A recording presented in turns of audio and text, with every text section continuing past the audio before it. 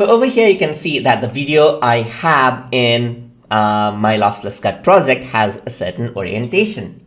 If you want to change it out, that is, if you want to rotate out the video and then export it, then you go on to the bottom right hand side and click on this icon. Here, it is the orientation. So it says set output rotation. So if I were to click on this, you can see that now it'll show a preview. It'll show a rotation preview. So right now it's on the uh, current state.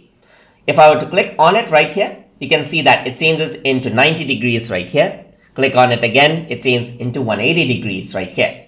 Now, if I were to press export and go to show, what happens is that it has exported out uh, the video right here. These are the pictures. I'm just going to delete it. I'm just going to open this out and you can see that now the video is completely opposite, just like this.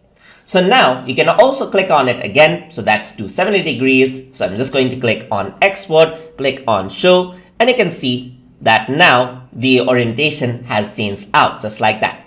And that is how you can change up the output rotation or orientation inside of LosslessCut. So hope you guys learned something as always. And as always, please like, comment, share, and subscribe.